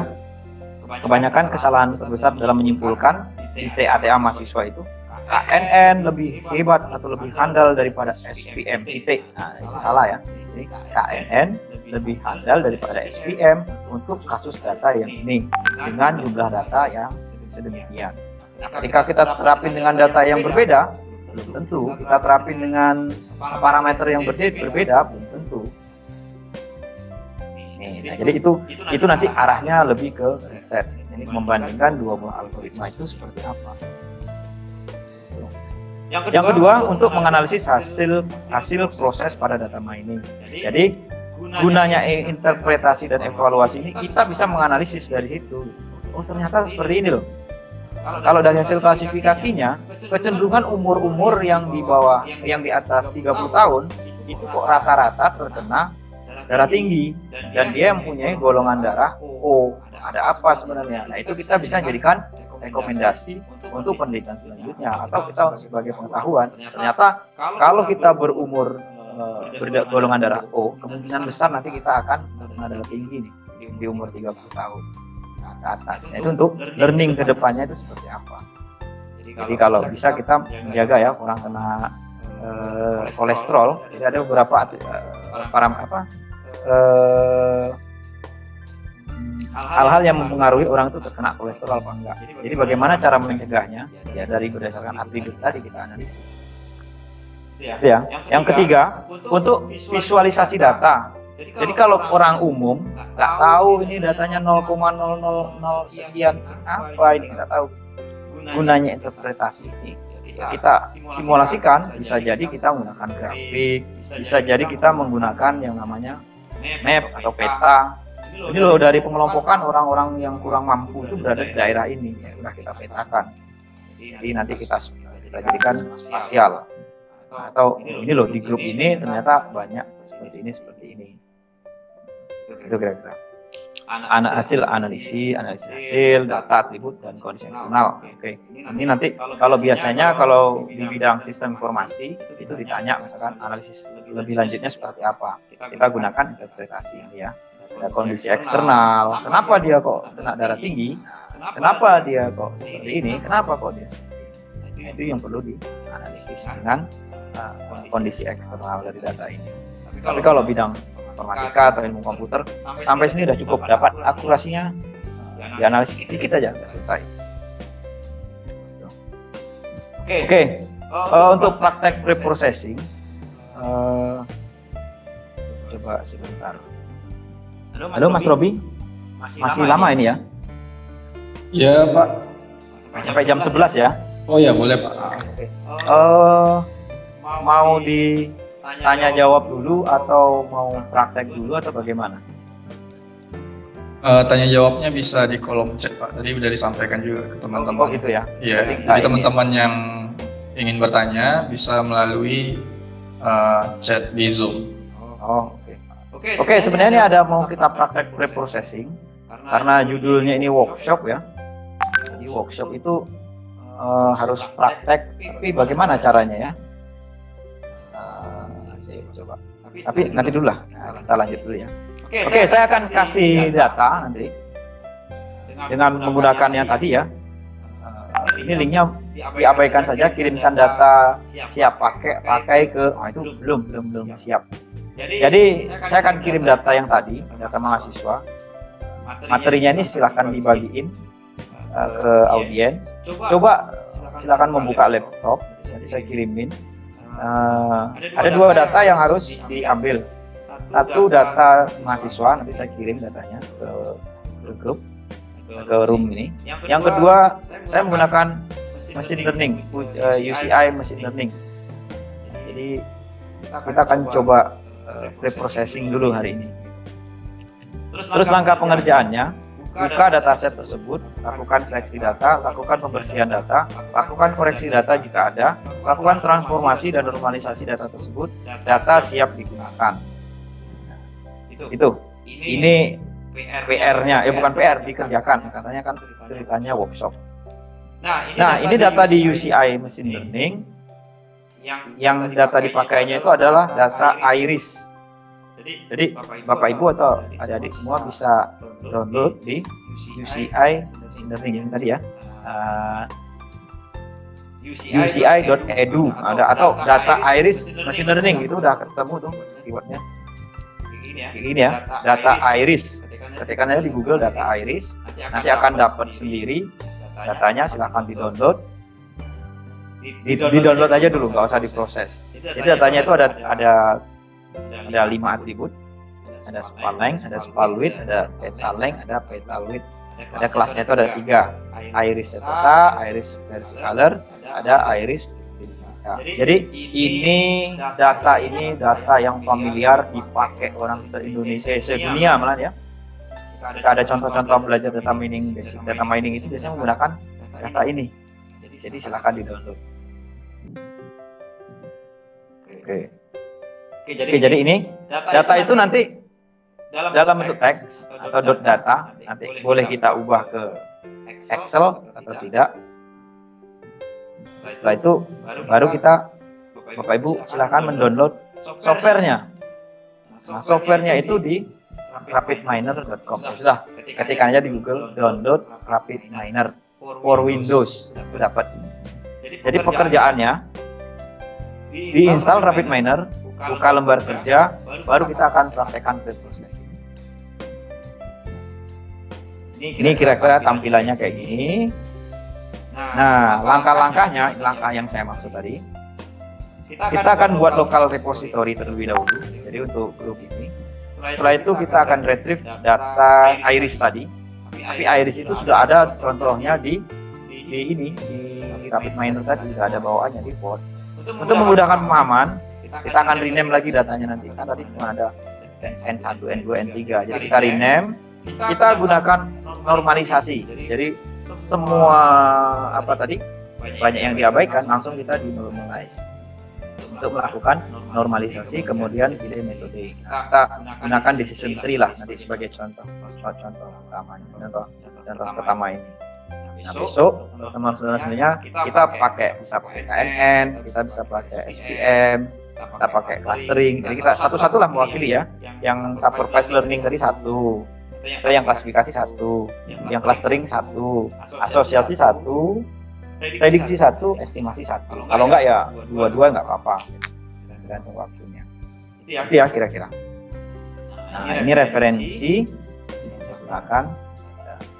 Oke, terima kasih. Nah ini kira-kira ya tampilan miner yang mau kita pakai. Ini untuk pemula. Kalau untuk pemula itu ya pemula kita mau perkenalan perkenalan dulu. Jadi yang paling penting.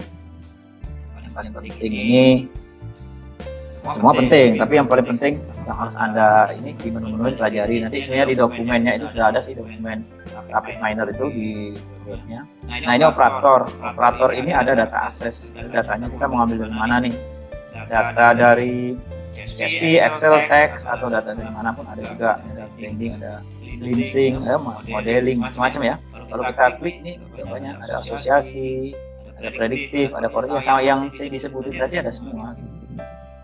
terus ada misalkan kita mau cari ya, decision tree ya. Sudah ketikkan aja. Decision tree ini ada decision tree nanti tinggal di drag di situ saja. Untuk modeling uh, lagi ya. Nah ini ini untuk parameter nanti ada setting-setting. Biasanya kalau kamen tuh angkanya berapa, kalau clustering tuh jumlah clusternya berapa di sini setting-settingnya. Klik di setting. Oke ya coba kita buat uh, story baru aja ya.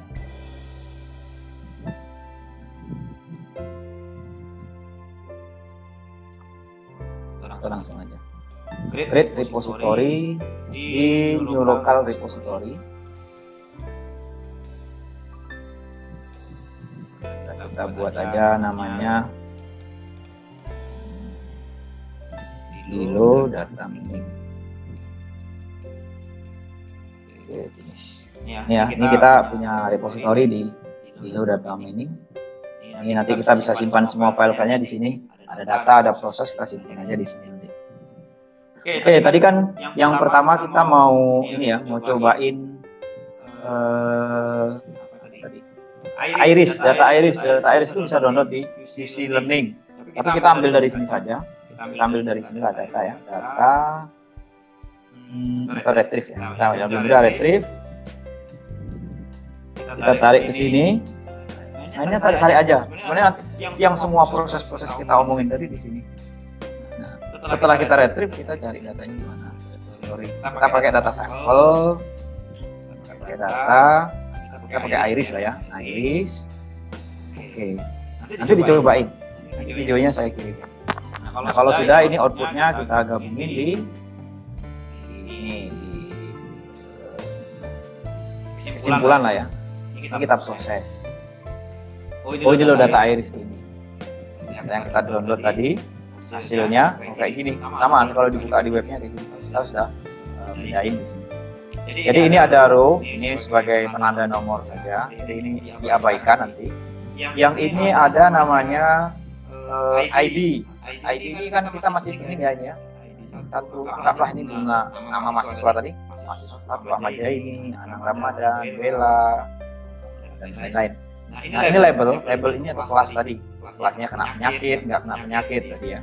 Nah ini A1, atribut 1, atribut 2, atribut 3, atribut 4. Nah kalau kita kita lihat setelah kita belajar teori tadi, data ini kan belum yang yang belum angka kan ini ya label ya. Tapi kalau di software kita abaikan saja tidak masalah karena sudah ada proses sendiri di dalamnya. Jadi kalau tadi itu secara manualnya, secara ininya, uh, di kalau kita nampaknya kayak gitu loh, tapi kalau di mesin itu nggak nampak algoritma yang bekerja. Gitu. Ini A1 atribut 1, atribut 2, atribut 3, atribut 4. Yang kita pakai tadi kan atributnya apa aja ya?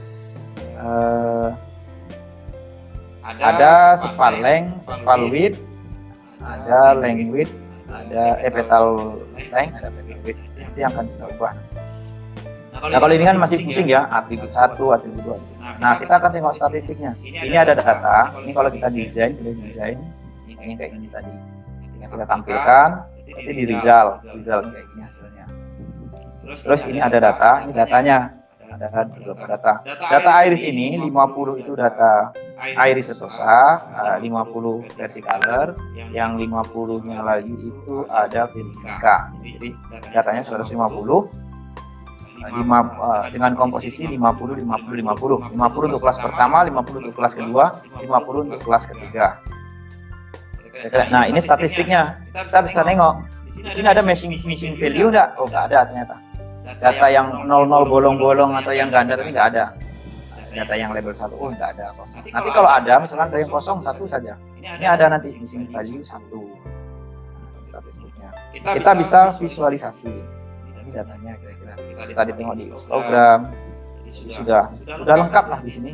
Nggak perlu kita ngoding-ngoding lagi. Atau kita mau buat di scatter plot ini data scatter plotnya nih. Ini klasifikasi yang pertama kelas 1 kelas kedua ini kelas ketiga atau yang yang mendekati gitu ya.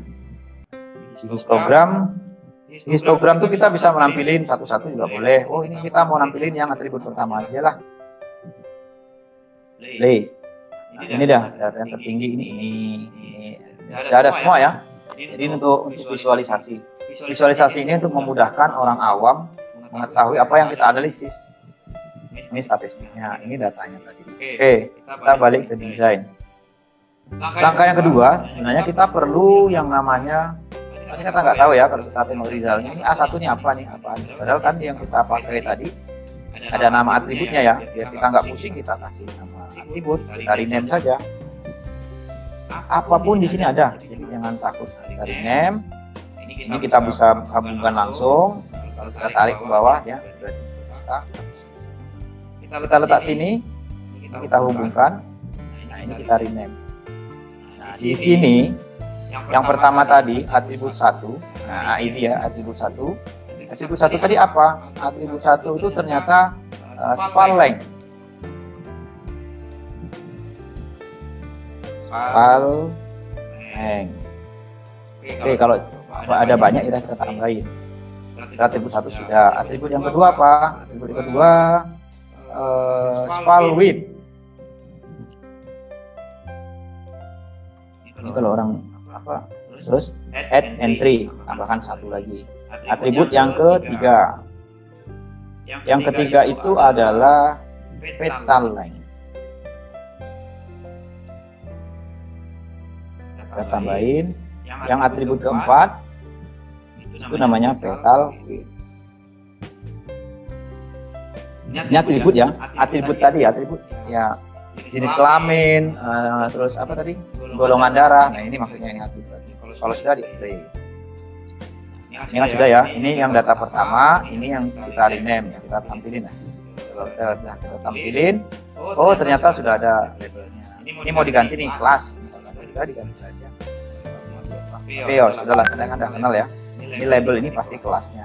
ID ini adalah penanda. Ini nggak diproses nih dua ini nggak diproses. Yang diproses cuma label spal length spal width peta length sama peta width. Oke ini datanya. Nah tapi karena kita tadi kan eh, harus di normalisasi. Nah kalau kita mau nampilin data yang lama juga boleh. Ini tak tampilin data yang lama. Ini kalau kita menggunakan data yang lama bedanya cuma di atribut saja. ini untuk memudahkan. nanti anda dapat data dari internet. datanya cuma atribut satu. Kan pusing ya. makanya di rename aja. Isinya sama cuman kalau kita nggak perlu itu ya kita buang ini.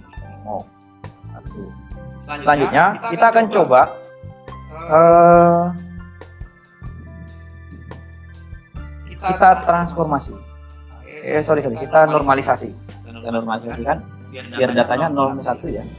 Normal normalize. kita buang dulu. kita gabungin. ini kita normalisasi. ini parameter. Parameternya di sini. Ini tadi ya guna parameter nih. Ini rename. Parameternya di sini. Mengubah-ubahnya di sini. Ini ada retrieve ngambil datanya di sini. Ini rename ngambilnya di sini. Nah untuk normalize normalisasi tadi. Normalisasi yang kita pakai kan yang X dikurang X kecil dibagi dengan X besar dikurang X kecil.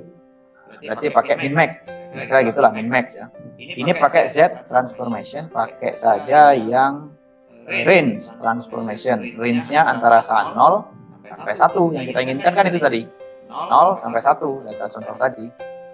Karena itu nah ini kita gabungin. Kita proses. Ini datanya sudah berubah menjadi 0,0000000 sampai 1 ini kita sudah masuk proses uh, normalisasi tadi normalisasi data. Setelah proses normalisasi data ngapain? kita tinggal masukin di metode data miningnya metode data miningnya apa? Jadi ada macam ya. Ada unsupervised ada supervised ada prediction estimation ada association. Jadi anggaplah kita menggunakan kan ini ada labelnya. Kalau data ini memiliki label, berarti ini pasti ke supervised learning. Supervised learning banyak metodenya tadi, ada KNN, decision tree dan macam-macam. Kita cobain lah pakai decision tree. Maka kita masuk di design, kita ketikkan di operator ini decision tree. Oke, nah, ini kita potong dulu, kita masukin kita gabungkan saja ini ke decision tree ini outputnya kayak apa? Kita cek parameternya. Nah parameter, parameter itu? ada banyak ya. ada gain ratio. nah ini untuk decision tree maka anda menggunakan parameter ini. itulah gunanya belajar teori. di decision tree itu parameternya apa-apa saja. Ada information gain ada gain ratio. Ini gunanya untuk apa? nah untuk maksimal kedalamannya seperti apa? Kita menggunakan beberapa percobaan kita pakai 10 dulu ini defaultnya ya. Nah, anda minimal gain dan macam-macam. ini diperoleh dari mana? inilah yang anda harus belajar teori decision tree kalau kita mau pakai gunakan tools sah-sah saja. Tapi secara tidak langsung anda harus belajar secara teori dulu terkait dengan decision tree decision tree ini metode apa digunakan untuk apa bisanya bagaimana klasifikasinya seperti apa outputnya kayak apa Kalau sudah ya sudah. Kalau misalnya Anda paham ini, kita mau percobaan dulu, percobaan misalkan kita bawaan billboard dari softwarenya ini sudah kita pakai generasi ini saja. Kalau kita jalankan, kita start, oh ini loh hasilnya. Nah, fungsi Anda belajar decision tree secara apanya? Anda harus bisa membaca. Ini apa bacanya? Nah, cara membaca ini kan juga penting. Kenapa kok seperti ini? Kenapa seperti ini? Inilah tree. Inilah yang dihasilkan dari proses decision tree tadi. Bayangin kalau kita ngoding decision tree, kita menggunakan PHP. Satu minggu itu tidak yakin saya selesai. Pusing ya Pak? Nah, pusing. Ngoding pakai decision tree menggunakan PHP atau menggunakan Java. Seminggu selesai, oh hebat itu udah. IPK-nya 3,5 itu berarti. Nah, gitu ya. Tapi kita menggunakan Rapid Miner ini, sudah ada 5 menit tadi, 10, 5, 6, sekarang 5, 9. 3 menit dapat decision tree. Ini loh hasil tree-nya. Deskripsinya seperti ini. Bagaimana bacanya? Anda belajar decision tree dulu. Jika petal width-nya itu lebih kecil dari 0,6, maka seperti ini, seperti ini, seperti ini. Ada berapa persen dia yang benar, ini ada berapa persen yang salah. Ini grafnya. Oke. Jadi, selesai. Bayangin, kalau kita mau benar-benar belajar data mining, di metode klasifikasi data mining itu ada sekitar puluhan ya, ada yang saya pernah pelajari, yang saya tahu, yang saya bisa itu ada 11 untuk klasifikasi. Ya sudah bandingin aja. Misalkan kita membuat tesis, tesis terkait dengan klasifikasi. Mengukur keakurasian algoritma supervised learning. Nah, judulnya itu aja tesisnya. Anggaplah kayak gitu ya. Yang diukur apanya? Kita menggunakan lima algoritma, lima algoritma misalkan klasifikasi decision tree, nah, terus SPM, KNN, terus naik bias, terus ada uh, apa satu lagi yang yang atau tadi nanti turunan dari KNN macam-macam ya. Kita bandingin lima itu menggunakan lima data. Ketika datanya kecil, datanya sedang, datanya gede, sangat besar, besar. Nah, kira-kira gitu. Bagaimana akurasinya? Itu udah cukup untuk tesis, sudah boleh. Terus kita bandingin lagi dari data kecil sampai yang paling besar tadi, data yang terstruktur dan tidak terstruktur. Bagaimana? Ini udah mengarah ke riset dan besok kita pasti. Jadi kalau unstrukturalnya itu ternyata lebih bagusnya ternyata data yang paling gede menggunakan net bias. Kalau data yang kayak gini, yang bagusnya ternyata pakai SPM, data terstruktur. Nah itu bisa jadi percobaan banyak sekali. Kan TA kita itu experimental research ya kalau untuk computer science. Udah jadi kita uh, belajar data mining itu sekarang praktis lebih mudah daripada kita dulu belajar data mining. Jadi sangat disayangkan kalau mahasiswa-mahasiswa itu mengeluh bagaimana latih ada data ini. Jadi nggak perlu pusing. Kayak gitu saja udah cukup. Nanti kalau mau lebih, kita mau punya novelty atau kebaruan, ya sudah kita mau dikit-dikit deh. Dan dari KNN tadi kan punya masalah nih. Masalahnya apa? Kita sisipin dengan algoritma namanya hybrid algorithm atau kita mengoptimasi algoritma bagaimana oh ketika hasilnya sudah bagus ternyata dicobain nah itu udah bisa dan itu bahkan mahasiswa-mahasiswa S1 sudah saya terapin nih tiga algoritma untuk tiga jenis data. Tiga algoritma dengan parameter yang berbeda dengan data yang berbeda juga. Jadi kalau secara level mungkin bisa dikatakan tesis tapi tidak semua. Jadi kita nengok-nengok mahasiswa kemampuan mahasiswa di analisis datanya itu bagaimana ini, ini untuk menggunakan rapid miner. Jadi mudah sekali ya. Ini satu, cukup kita punya waktu 3 menit mulai dari retrieve data, pre-processing, sampai dengan proses algoritma dapat. Nah, itu kira-kira. Itu ya, cukup satu ide dulu untuk pemanasan.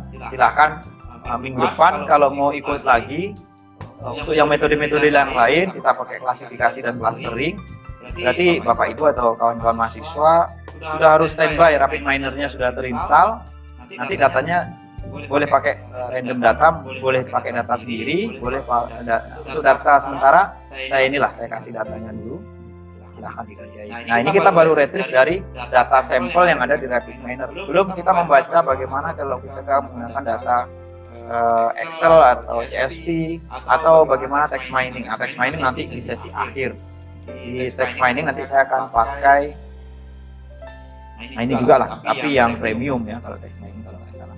Tapi kalau nggak memungkinkan untuk text mining kita pakai Python. Nah, nanti berarti di sesi akhir uh, kita akan install namanya Anaconda. Kalau nggak mau install Anaconda, komputernya kecil. Saya RAM-nya cuma 2 GB pak. Nggak bisa. Oh, sudahlah ganti aja. Kita pakai Google Colab. Google Colab tuh RAM 1 GB pun bisa jalan. Yang penting internetnya kenceng. Itu, itu ya kira-kira. Mungkin, Mungkin itu yang dapat saya sampaikan. Jika ada pertanyaan, saya kasih kesempatan lagi. Boleh teman-teman. Saya balik lagi ke Mas Mas Lobi. Silakan Mas. Iya Pak. Ah. Kalau ada teman-teman yang ingin bertanya lagi, boleh bertanya sebelum kita tutup dan foto bersama ya Pak. Boleh, silakan. Ya, ya kalau tidak ada jam 11.15 ini saya ada juga webinar ya. di, di, Bang Pinang. Jadi sama materinya sama, jadi saya saya pindah ke sebelah aja ini mas. Baik baik baik. Nah, makanya kemarin sebenarnya kan mau tiga jam jam 12 kan bagus. Ternyata Jumat Sabtu sama pula jadwalnya kan. Tapi misalnya saya Jumat Sabtu, Senin Kamis itu kuliah masalahnya. baik baik. Oke, okay, uh, terima kasih mungkin sedikit yang dapat saya sampaikan. Semoga bermanfaat untuk kawan-kawan semua. Saya Assalamualaikum warahmatullahi wabarakatuh.